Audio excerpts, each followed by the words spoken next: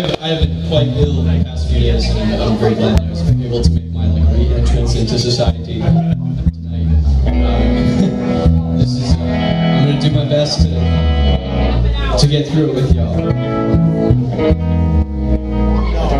because I just couldn't miss.